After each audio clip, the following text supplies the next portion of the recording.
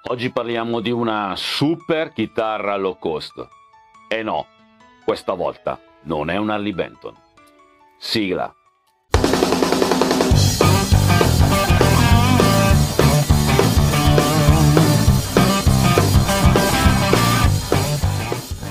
Buongiorno amici e benvenuti, qui siamo al BM Blues ed io sono Paolino. Oggi parliamo di questa bellissima chitarra Prima però di iniziare a parlare di lei, come al solito vi chiedo di iscrivervi al canale, pollice alto e non dimenticate la campanellina.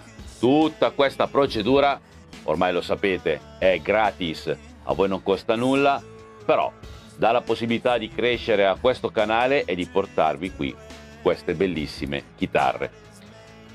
Sempre grazie a Andrea di Firebird che gentilmente ci fornisce appunto tutta la strumentazione per fare questi video. Grazie Andrea. Ora però parliamo di questa chitarra. È una Ibanez della serie Gio o Joe, vedete voi come chiamarla. E come ho detto in presiga, no, questa volta non è un Harley Benton perché dico così?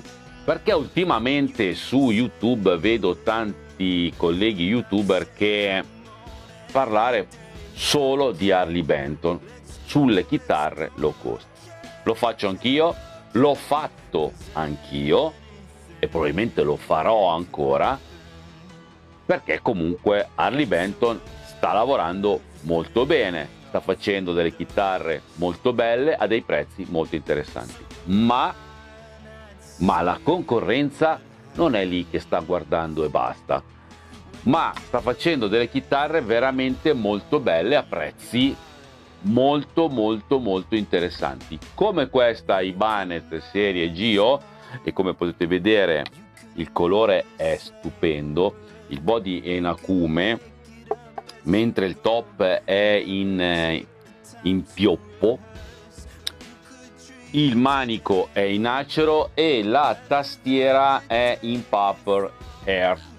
Tipo di legno particolare abbastanza morbido molto bella. 24 tasti 2 humbucker ponte fisso eccezionale. Sulle chitarre low cost eh, io preferisco molto il ponte fisso piuttosto che leve, vibrati e falsi Freud Rose. Perché se andiamo a scendere di prezzo sulle chitarre e mettiamo dei ponti oscillanti la cordatura ne soffre parecchio. Qui hanno messo un ponte fisso ottima idea direi veramente ottima idea con le corde passanti. Molto bella questa cosa. Chiaramente potete vedere è un bolt on e questi due humbucker suonano veramente molto bene. Una chitarra prettamente per il rock duro, ma a me ha stupito per la sua versatilità. E adesso vi faccio sentire quanto è versatile questa chitarra.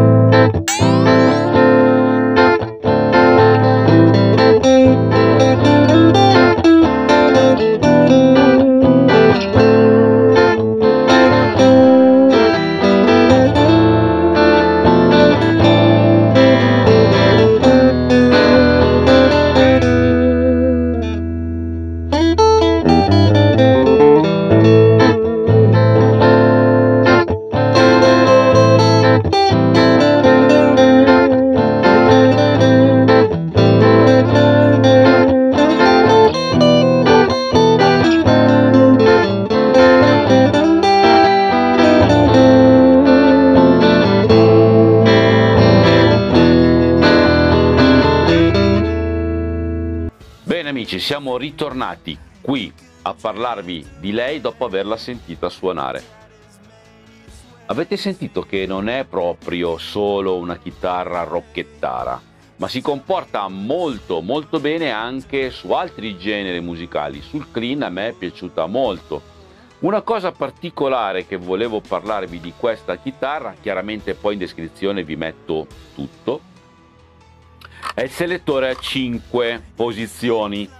Avendo due humbucker mi sono chiesto, ma Andrea perché ha 5 posizioni?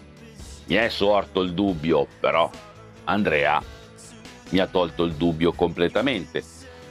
In posizione 1 abbiamo l'humbucker bello, pieno, cicciotto, aggressivo. In posizione 2 splitta l'humbucker al ponte in posizione centrale fa funzionare entrambi gli humbucker, in posizione 4 splitta l'humbucker al manico e in posizione 5 fa sentire il suono tondo, caldo, ciccione dell'humbucker, bello pieno al manico.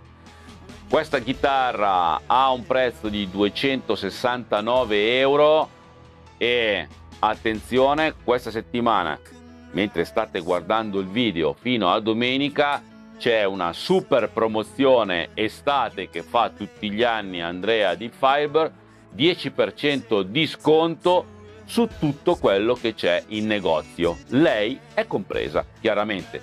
Quindi 269 euro più il 10% di sconto. Beh io la farei una spesuccia del genere portarmi a casa una chitarra bella come questa con questo colore fantastico paletta reverse al contrario molto molto bella molto aggressiva eh, e poi comunque è un Ibanez beh dai io la prenderei. I suoni li avete sentiti io vi aspetto giovedì prossimo perché ho una piccola idea da farvi vedere. Me ne vogliono gli amanti Harley Benton io mh, mm, non parlo mai male di Harley Benton perché comunque ne ho, ne ho diverse, suonano bene, ma questa volta, dai, l'Ibanez ci sta alla grande. Lunga vita al blues, amici. Buon pomeriggio.